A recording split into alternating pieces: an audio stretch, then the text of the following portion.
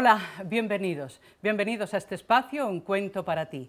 En esta ocasión no vamos a contarle cuentos a los niños, que parece que son ellos los protagonistas de este género literario del cuento. No, vamos a eh, explicar, vamos a leer, vamos a contar en definitiva cuentos a la gente adulta, a la gente como usted y como yo, que también fabulamos y sentimos y reímos y lloramos con esas narraciones breves que son los cuentos. Recibimos para empezar este espacio a José Bárcena. José Bárcena es camarero y relaciones públicas del Café Gijón desde 1974, lo que le ha permitido tomar contacto con la crema de la intelectualidad eh, y quienes en 1988 le ofrecieron un eh, sentido homenaje que él recuerda con muchísimo eh, cariño y muchísima gratitud. Ha publicado artículos y cuentos en distintos diarios, libros y revistas. Creó y fundó la Asociación Editorial Cultural Verbo Azul y es fundador también de la colección literaria Cuadernillos de Alcorcón dirige y coordina la revista Café Gijón, es promotor de recitales y también de actos culturales. Y hasta el momento podemos decir que tiene publicadas tres obras, El arañazo, que es una novela, Colores atrapados, libro de aforismos y aquellos bohemios del Café Gijón. José Bárcena, bienvenido, gracias por acompañarnos, por estar aquí para contarnos un cuento y para hablarnos de ti, que me parece que también es algo importante. Hola Julia. Me alegro de que me hayáis invitado, para mí es un honor. Eh, bueno, pues os traigo un cuento de un admirado eh, maestro de la pluma como es Manuel Vicente, espero que os agrade y, sea para bien. Vamos a hablar un poquito mm, de ti, que eres un personaje también. He dicho antes que eres el Relaciones Públicas del, del café literario o de tertulia literaria, probablemente el café más importante de España en ese género, ¿verdad? Y en el 74 te incorporas a este trabajo. Seguramente ya escribías de pequeño y de adolescente alguna cosa, pero el contacto con todos estos personajes, hombres y mujeres, tan directamente relacionados con la literatura, esto te ha hecho mejorar tu estilo, aprender mucho de ellos, definirte como cuentista que también cuentas, escribes cuentos y, como escritor, que luego vamos a hablar un poquito de lo que llevas, de lo que has escrito hasta este momento, que creo que me he quedado un poquito corta y estás en otro trabajo, en una novela de muchas páginas, ¿es así? Sí, estoy, bueno, tengo, hay tres cosas que están para publicar, casi terminadas. Hay un cuento, hay, o sea, un libro de cuentos, perdón. Hay un libro sobre el Café Gijón, en el que se ha dilatado tanto que me he disparado hasta 2.000 páginas, 2.000 y pico. Eh, y luego, pues eh, tengo también, eh, me acaban de operar de un pie, he, aprovechado el tiempo y he escrito algo que tenía muchas ganas de hacer, que es un libro dándole gracias a Dios. Qué bonito. Y en eso estoy, está casi terminado. Qué bien, qué bien. Eh, José, ¿has hecho amistad con alguno de los clientes que pasan sus tardes en el Café Gijón o es una relación un poquito de distancia? De los clientes me refiero a los escritores y escritoras y pintores y pintoras, me imagino, de todo lo que envuelve y se relaciona con el arte, ¿no? El Café Gijón es un templo de la palabra. La palabra conlleva el contactar con los demás al contactar se hace esa cosa maravillosa que es la amistad. Se abre el abanico de, mm, conocimientos unos con otros y, entonces se llega a la amistad. He tenido la suerte de tener amistad pues, con casi todos los grandes genios que han pasado por el café o menos genios, todos los creativos, los pintores, tal. Como soy relaciones públicas, pues estoy metido en todos los berenjenales que tenemos de cosas de cultura. Así que sí, no solamente en el café, fuera del café para mí es un honor.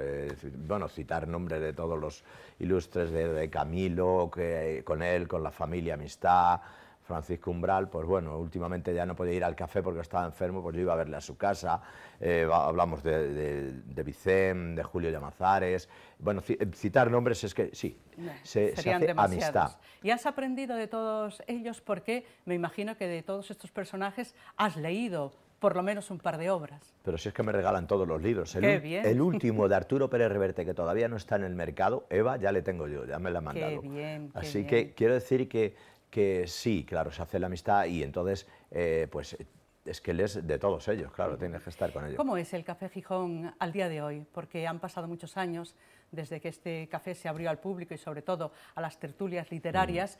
Y me imagino que ahora ya es otra cosa. También es gente curiosa que pasa por allí para ver a personajes conocidos, ¿verdad? Algún que otro turista, ¿no? Sí, de todo eso hay. Eh, y el Café Gijón bueno, mantiene la tradición. Nosotros ahora ha ocurrido en el mundo la incisión de Internet, que es lo que se está incidiendo para que las tertulias, yo creo que se acabarán por terminar, lo que es la clásica tertulia en un lugar de hostelería, como es el Café Gijón, o en cualquier lugar de todos estos sitios. Y eh, ojalá me equivoque y no sea así, eh, pero se mantiene la tradición. Es más, todas aquellas gentes que lo han hecho a lo largo de toda su vida, ir a la tertulia, es el modo de envejecer. les gusta hacer eso porque es en lo que se han encontrado a gusto y lo mantienen y lo, conservan. Los jóvenes son los que cuesta, cuesta, a ver si eh, me equivoco y, continúan ellos con las tradiciones de la tertulia. Sí. Pues aparte de, conocerte, que es un placer en este espacio hablar un poquito de ti también, has venido a contarnos un cuento para adultos, que va a ser de este autor, de Manuel Vicén, ¿verdad? Sí. Eh, Vamos con él, venga, ¿os parece bien? Lo voy a leer porque de memoria, en fin, y luego como la pluma de Manuel Vicente es tan jugosa, es como una falla de su tierra, ¿no? Está toda llena de... Eh, vamos a ver. no, contado no sería lo mismo, hay que seguir la prosa del autor en este caso. Sí. Y como decía mi amiga Ronnie Yanko, que era escritora también de cuentos, decía, ah, la conociste, qué bella persona, ¿verdad? Y decía, el cuento se cuenta cuando viene a cuento, espero que venga a cuento contarlo ahora. Pues ahora viene a cuento contarlo. Pues vamos a ver, vamos a contar o leer No pongas tus sucias manos sobre Mozart. El autor, el gran Manuel Vicente. Manuel, va por ti. Esta es la pequeña historia de una rebelión, el famoso caso del tipo de izquierdas que el viernes día 14 de marzo de 1980 se deshizo del propio terror psicológico de que sus amigos le llamaran reaccionario, y le arreó un seco bofetón a su querida hija de 15 años.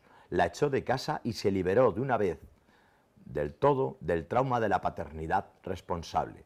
El episodio fue el final de un complicado proceso neurótico y se desencadenó por un disco de Mozart, por una bobada, como siempre sucede. La chica estaba en la leonera de su alcoba con unos amigos melenudos y una música de Zeppelin hacía vibrar las paredes maestras del piso. El padre estaba en la sala sentado en un sillón, bajo la lámpara de nahuillas, leyendo un informe del partido acerca de los índices del paro. Aquella panda de mozuelos, llena de harapos, pulgas y metales del rollo, habían entrado en la casa sin permiso. Habían pasado varias veces por delante de sus narices sin dignarse a esbozar el más leve saludo. Le habían manoseado sus libros, habían vaciado la nevera, se habían limpiado las botas camperas en la alfombra de Alpujarra. Habían dejado el hedor de cabrío a su paso. Estaban en la habitación de su hija, espatarrados como tocinos bajo los portes del Che Guevara, oyendo al Enzeppelin, a Polis, fumando porros y apurando la última cerveza. Aquella alcoba era una reserva en la que él, desde hacía un año, no se había atrevido a entrar.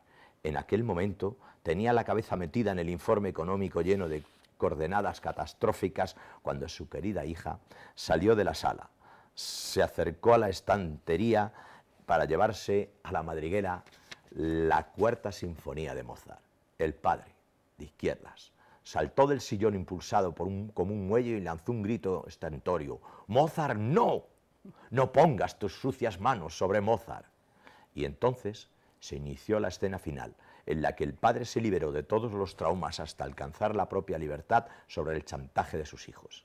Detrás había quedado un largo proceso de neurosis paternofilial que acabó con una sonora bofetada. El hombre tiene 42 años, pertenece a la izquierda fina, quiero decir que es un progresista con dinero, un economista colocado, con una biblioteca selecta de 2.000 volúmenes, pintura abstracta en las paredes, carnet del partido anterior a la legalización con la cotización del día, piso de 200 metros en los altos de Chamartín, un año de cárcel y ciertas mataduras de la expresión franquista. Educado en el Colegio del Pilar, un marxista de vía chilena, buenos modales, deportista de ducha fría diaria y perfectamente alimentado, ya que desde el útero de su madre cuida mucho el envase, pero ama la libertad antes de nada. Tal vez su punto fuerte es la elegancia interior.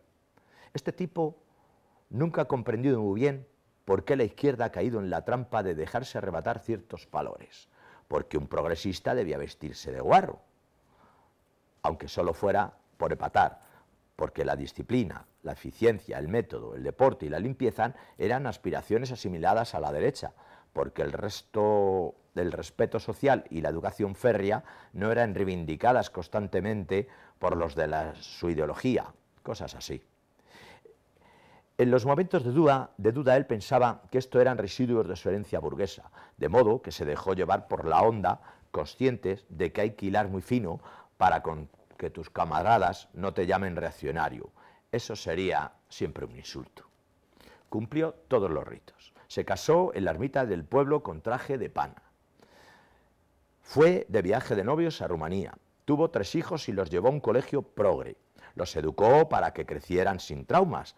Los metía con él en la bañera, los paseaba por la ruta del románico, se dejaba insultar por ellos y así las tres criaturas fueron creciendo a la sombra de unos padres comprensivos que no osaron jamás por dar zanjada una discusión sin antes mostrarle todas las salidas, opciones, contradicciones del problema para que fueran en ellos quienes tomaran la decisión según la responsabilidad. Ponerles la mano encima hubiera sido un escándalo para su propia alma. Contestar con una negativa sin más apelación le produciría un desgarro en su sensibilidad progresista y el chantaje iba engordando como un tumor. Este buen padre de izquierdas ya había pasado porque sus hijos no se lavaran los dientes o ni siquiera se ducharan una vez a la semana, soportaba que le llamaran viejo con cierta naturalidad displicente, pasaba por alto aquellas indumentarias zarrapastrosas del vaquero con remiendos, la pelambrera del profeta nihilista, el hecho de que se fumaran un porro en la pocilga de la alcoba y que no lograran aprobar el curso. Ante todo, había que contar con la presión social. Estaba con la presión social. Ya se sabe que cuando la juventud no encuentra salida, la sociedad queda muy deteriorada. Cada generación tiene sus ritos, sus mitos, sus formas de comportamiento, y eso había que respetarlo, imponer la voluntad a rajatabla. No es más que una agresión. Después de todo, no es malo que tengan guitarra o que oigan a Led Zeppelin. Un buen día, el hijo mayor no volvió a casa por la noche. Había tenido un percance en el colegio y decidió huir a Ibiza. La policía lo encontró en Valencia, cosa que sucede a menudo cuando no se logra pasar filtros de tabaco. Otra hija se fue a vivir con un roquero. Después de un tiempo, el buen padre de izquierdas logró reingresarles a su nueva ordenanza del hogar, lleno de traumas, explicaciones, consideraciones, pláticas razonables, amabilidades y sesiones antipsiquiátricas con un diálogo siempre abierto. Que hagan lo que quieran. Lo importante es que estén en casa, que los angelitos no sufran, que desarrollen la personalidad, aunque sea tumbados en el catre todo el día. Cada tarde, la alcoba de su hija se llenaba con una panda de amigos que traían una calaña bastante atroz. No era lo peor que pasaran por delante de sus narices y que no se dignasen a saludarme, sino el olor a cabra que dejaban en la sala, que se limpiaran las botas a la alfombra, que se abatieran sobre las estanterías y manoseasen sus libros con sus uñas sucias, que se bebiesen el whisky y que me hacen sin tirar de la cadena. El viernes 14 de marzo de 1980 fue un día histórico para este amigo mío, un tipo de izquierdas, padre de familia que se liberó de sus hijos y al mismo tiempo se sacudió el terror de que alguien le pudiera llamar reaccionario. Él estaba estudiando un informe del partido acerca de los índices del paro. El sonido de Len Zeppelin hacía vibrar las paredes maestras del piso. Fue cuando su hija salió de la leonera y con el pelo grasiento y los dedos amarillos de nicotina, cruzó la sala, se dirigió a la biblioteca con la pretensión de llevar a sus compinches la sinfonía número 40 de Mozart. Mi amigo no sabe explicar bien qué dispositivo le hizo saltar. otras veces también su hija la había llamado carroza, pero en esta ocasión aquel hombre tan fino y progresista la reúne a bofetada. Se lió a golpes contra todos Dios y se deshizo del misterio. Echó de casa patadas aquella panda de golfos. Y hasta hoy, mi amigo es un hombre de izquierdas, ya liberado. José Bárcena, no pongas tus sucias manos sobre Mozart. No se me ocurriría, me la lavaría antes. Y ahí hemos tenido un cuento espléndido de Manuel Vicén. ¿Vendrás otro día a contarnos otro cuento? Si me invitáis, estaré encantado. Invitado quedas. Muchísimas gracias. Muchas gracias a vosotros.